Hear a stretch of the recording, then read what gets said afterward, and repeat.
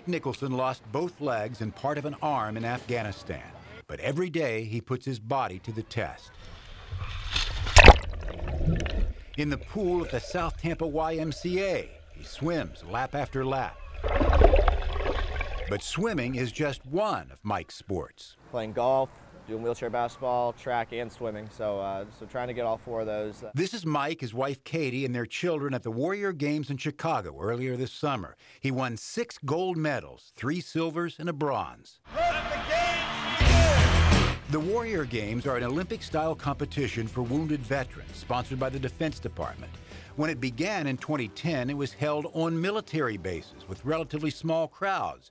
But this summer in Chicago, they held it off base in the city. When you open up to the public, we had 50,000 people in Chicago coming through. So, you know, I think Tampa could bring twice as many. As Nicholson now trains for an international competition, he's also become a voice to bring the games to Tampa. Special Operations Command at MacDill has also expressed an interest in hosting the games. But as in Chicago, it's likely that most of the events would be at venues off the base in the city. Tampa Councilman Luis Vieira says City Council will send a letter to organizers saying Tampa is interested in the Warrior Games. And now what we're going to strive to do is to get other local elected officials, community stakeholders involved so that we can kind of have a unified voice for the Tampa area uh, on trying to get these games here. He believes the games would bring thousands of visitors, but also show Tampa's support for wounded veterans like Mike Nichols. I mean, we're such a military-friendly city. I think it's just, you know, I, I think it's just fitting that we do do it. Um, we have the facilities. We, uh, we definitely have the passion behind it. The passion he shows every day, years after the sacrifice he made for his country, pushing himself to win.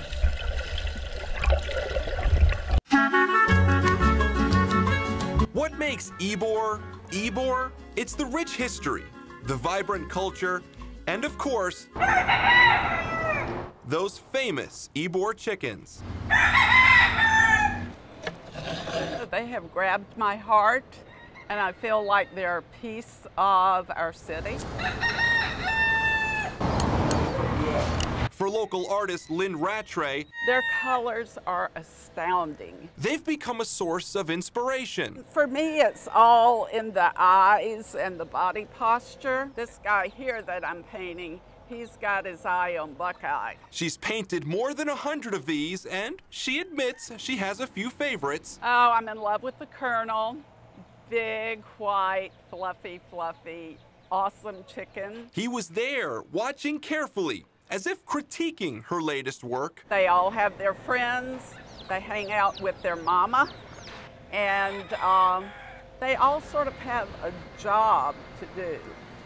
And that's what I'm trying to capture.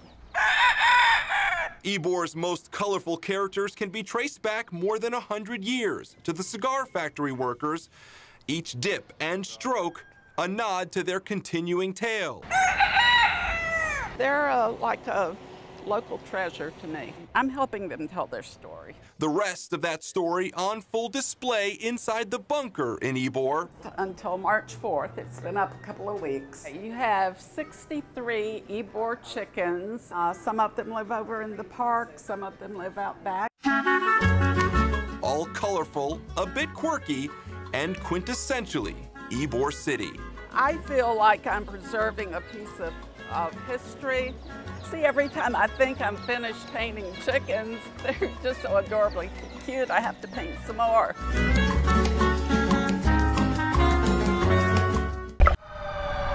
Be careful where you step.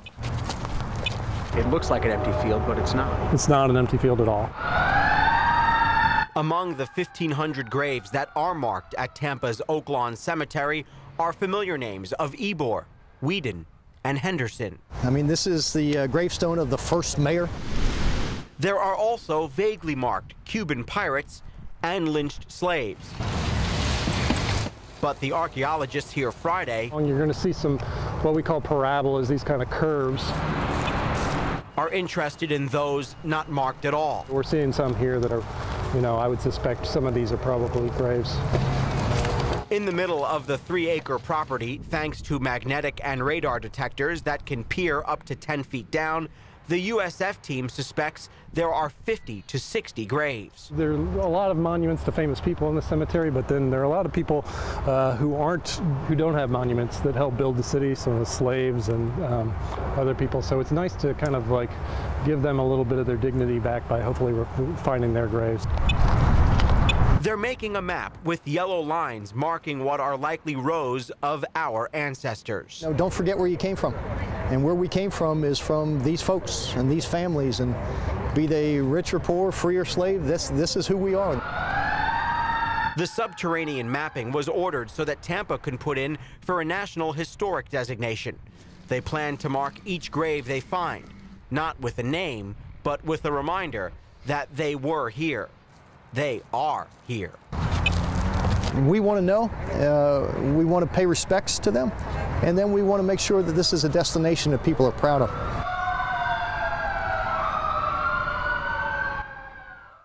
Start over, Michael. We weren't ready. A professional recording studio. Who can show no shame? It's a far cry from the Sarasota city streets where Donald Gould was playing a year ago. A year ago, I figured I was just going to die out there living on the streets. But then again, Donald Gould is a far cry from the man he was a year ago. But his talent for making his fingers dance across the piano keys and a viral video would take Donald from homeless to artist. His quality of living is a lot better. I have my own place. I even have a pet cat, my Groucho. He's made great strides, you know. Um, you know, there's always bumps in the road. You know, there's always things that, you know, obstacles that he has to overcome. But uh, he's really worked hard on his recovery. His take on redemption echoes in his music. Like other musicians, his soul reflects in each note. He's really playing from someplace personal. And uh, I think when he's behind the piano and people are like really listening to him, that that's where it comes out. And that's what he wants you to hear when you listen to his first album, set for release this fall. I said, wow, is this even still, is this really happening? And it, it gives me a feeling of gratitude and, and, and pride. It's the next step in Donald's evolution, from living on the streets to becoming famous overnight, even playing in an NFL stadium. I don't know what direction I'm headed, but I'm sure it's going to be in a positive direction. I think Donald's story is, is, is inspirational. Good job, Bird. We found the 50! We found 50! Yeah! They say money doesn't grow on trees. That doesn't mean you can't find some hidden in the trunk or in the sand. Yeah! Or maybe tucked into the dock. I didn't believe it at first. I, I thought it was a hoax. This one's in what? the volleyball net. It's not a hoax, it's a hunt, a Florida treasure hunt. When I found it, I was like, wow, like this is real. This is a real $20 bill in my hand. And I was excited. What's on the things? The treasure hunts movement, which started last year in Colorado, has officially made its way down south. Erica, Erica, we got the 50! we hide the money, we post a picture on Facebook. Um, all you have to do is follow us. Bo Griswold, who lives in Colorado, came up with the idea last year. He's taking it nationwide just as a way to promote positivity throughout the state, um, get people outside off their cell phones and next year. So it's, it's moving really fast. Wait, what's next to the palm tree? Within minutes of clues being posted on the Florida Treasure Hunts Facebook page. There's one down here somewhere. People in Indian Shores were on their feet, finding bill after bill. Which, how much did you get? Five? Five. Here. This was really fun because we were not expecting it at yeah. all. From people saying that we're getting them out of depression, helping them get outside, to helping them get exercise. It's just special things like that to make it worth it. Max Bloss and his wife were the state's first happy hunters. Now he's a Florida ambassador, keeping the treasure hunt alive. I will be hiding money, whether it's Redington Shores, Clearwater Beach, Indian Rocks Beach. So if I found it! You find it, you keep it. Yeah, we got it! Look at these pictures. Who do you notice first? We just uh, came back from Camp David. Certainly, the President and First Lady are most recognizable. We took a walk down Gorky Street in downtown Moscow. But something else they all have in common is Greg Mertz. I'm looking forward to someday when my grandchildren start learning history and they say, oh, Grandpa, Grandpa G was with President Mrs. Reagan. Mertz served four presidents over 21 years in the Secret Service, starting with Ronald Reagan. He was assigned to the First Lady's detail in 1987. She was such a motivator and behind the scenes uh, leader, mentor, uh, partner, teammate with President Reagan. He trailed on horseback. He drove her. He did everything he could in all kinds of situations to keep her safe. During her Just Say No to Drugs campaign, Mertz was told that she'd be hoisted up at halftime by Charles Barkley to dunk a basketball. And so I was standing right outside of that picture, right under the basketball goal, almost like with my hands out, waiting for, for something bad to happen. The fond memories are more somber now. After she passed away, all of us you know, take it to heart. He says the way Nancy Reagan appeared to the public and the way she is being described now is how she really was. Mertz remembers the president's health scare towards the end of his administration. And every day when Mrs. Reagan left, she would thank uh, all the agents and all the nurses for taking such good care of her husband. And she was so, so humble and so sincere about it. Mertz seldom discusses his career or his protectees, but he came forward this time to salute a woman he adored and pledged to give his life for. For First Lady, she carried a big stick, and she was very, very well respected.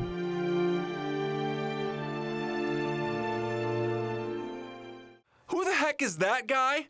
Well, it's supposed to be Tom Brady in federal court. Online, it's anyone but the four time Super Bowl winner. Maybe it's the Crypt Keeper or Gollum. How about E.T.? I just think that it's um, a bit unusual to see all of this time and energy going after a drawing. Douglas Land is a courtroom sketch artist here in the Bay Area. He's covered some of the biggest cases in recent memory. I'm hired to go in and be the camera in the courtroom. Darken that a little bit. He says he's looking for specific characteristics to highlight. There's a little bit of like uh, exaggeration, there's some uh, caricature work. And to illustrate the emotion of the moment while staying impartial. It's a pensive moment, a lot of tension for. And uh, so I tried to capture that. I can do one of these in about 15 minutes. Uh, something like this I can do in maybe about a half hour. What you're trying to do is just get the essence of what it is. He says it can actually be harder drawing a famous face rather than a stranger. Someone that has a face that everyone knows. Uh, it's difficult because uh, I think people can be quite judgmental. In the case of Brady's less than perfect portrait, artist Jane Rosenberg apologized for her work. I may not have made him look as handsome as he really is, and I apologize to the fans for that. I'm not really part of the social media world, so it was uh, kind of shocking how many people are like, how I'm the story. Like, that's ridiculous. That's social media for you. It's enough to make some people scream.